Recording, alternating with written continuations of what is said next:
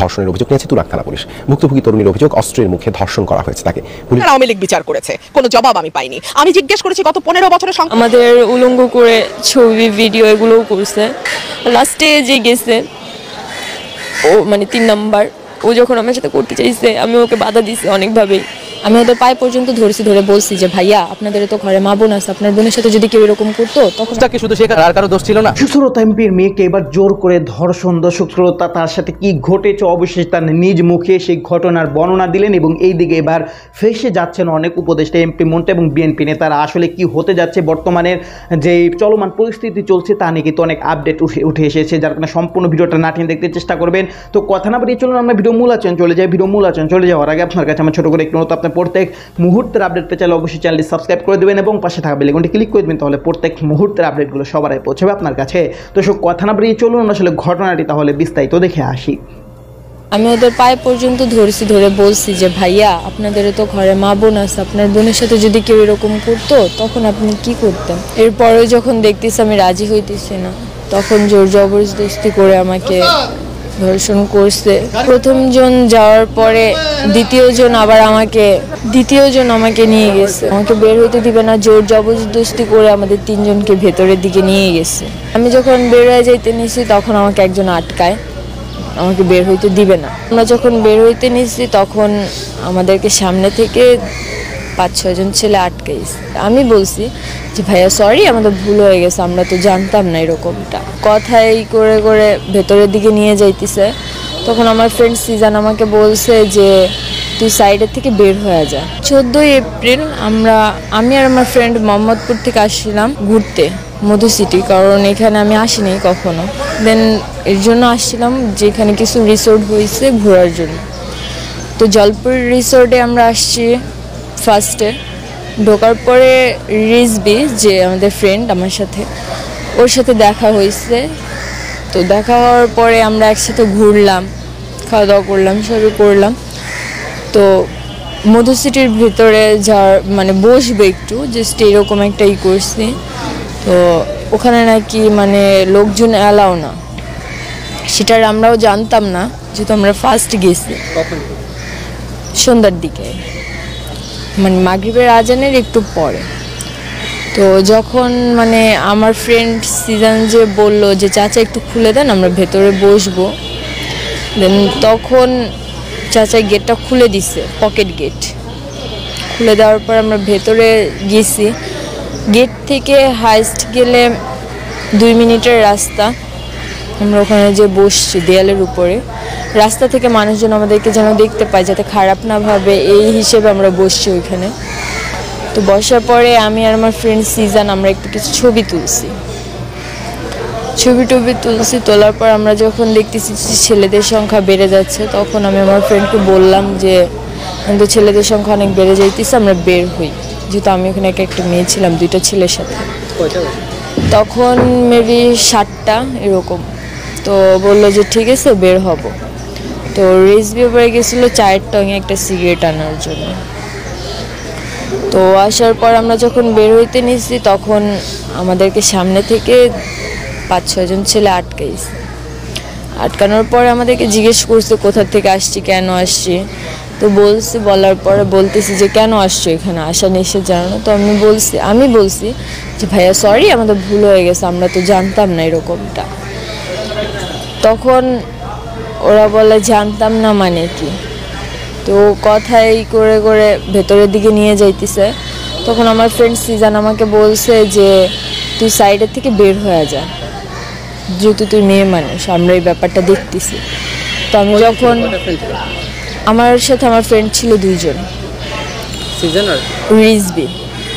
তো আমি যখন বের হয়ে যাইতে নিয়েছি তখন আমাকে একজন আটকায়। আমাকে বের হইতে দিবে না। তো আমাকে বের হইতে দিবে না, জোর জবরদস্তি করে আমাদের তিনজনকে ভেতরের দিকে নিয়ে গেছে। নিয়ে যাওয়ার পর তিনজনকে প্রথমে তিন জায়গায় বসায়। বসানোর পরে সিজানকে মানে আমার ফ্রেন্ডকে আর রিজবিকে দুজনকেই মারছে। মানে কি কি আছে কাছে সব দেওয়ার জন্য। তো একজন মানে কি একা আমার কাছে আসছে। আসার পর আমার ব্যাগ সার্চ করছে। যেহেতু আমি একটা পার্ট টাইম জব করতাম, আমার ফোনও চুরি হয়ে গেছিল। তো ফোন কেনার জন্য আমি আমার স্যালারি থেকে পনেরো হাজার টাকা আমি জমাইছি, অল্প অল্প করে। দেন ওইটা আমি ক্যাশে নিয়ে আসছিলাম। আমি আর সিজনে সিজনে জানতো যে আমি টাকা নিয়ে আসছি। যে আমি বাসায় যখন যাব দেন তখন একটা ফোন কিনে নিয়ে তারপরে বাসায় যাব। এটা আমি প্ল্যান করে নিয়ে আসছিলাম। তো ব্যাগে যে টাকাটা ছিল ওটা ওরা নিয়ে নিছে। মানে ওই যে ছেলেটা আমার কাছে আসছিল, ও নিয়ে গেছে, কেউ দেখে নাই। তো নিয়ে গেছে পরে আমাকে নিয়ে গেছে ভেতরে। তখন সিজান আমার মানে আটকাইতে আসছিল। ও আটকাইতে আসছে বিধায় ওকে মারছে, প্রচুর মারছে। ওকে ছুরি দিয়ে, ব্লেড দিয়ে, এগুলো দিয়ে ভয় দেখাইছে। ওর কাছে যা যা ছিল সব নিয়ে নিছে। তো পরে আমাকে নিয়ে গেছে, নিয়ে যাওয়ার পরে আমি ওদের পায়ে পর্যন্ত ধরেছি, ধরে বলছি যে, ভাইয়া আপনাদের তো ঘরে মা বোন আছে, আপনার বোনের সাথে যদি কেউ এরকম করতো, তখন আপনি কি করতেন? ওরা বলতেছে যে, কথা কম বলবি না, তো ব্লেড দিয়ে এখানে মায়েরা রাইখা যাব।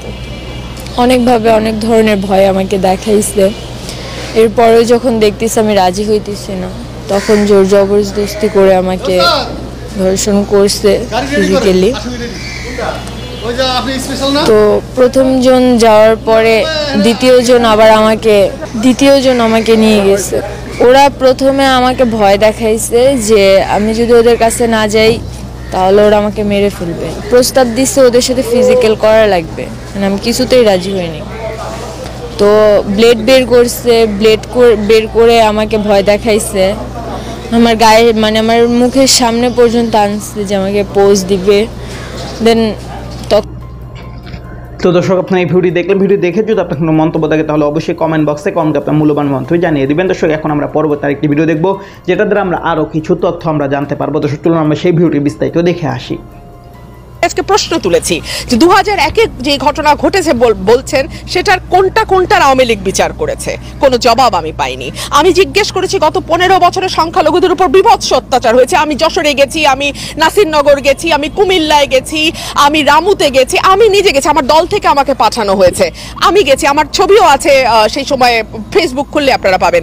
আমি প্রশ্ন করেছি, মাগো, এই ঘটনা কারা ঘটিয়েছে? আমি দেখেছি তাদের চোখে আতঙ্ক। আমার বৃদ্ধ জেঠিমার চোখে আতঙ্ক। উনি বলছেন, মা, একাত্তরও এমন ঘটে নাই। তো এটা কাদের শাসনামলে হলো? পনেরো বছর কারা ছিল ক্ষমতায়?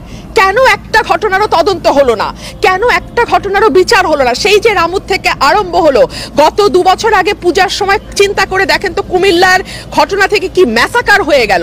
মন্দিরে কোরআন শরীফ নাকি মসজিদে প্রতিমা, আমি জানি না। এই ঘটনা কারা ঘটায়? কি তাদের উদ্দেশ্য? কারা বেনিফিট নেয়?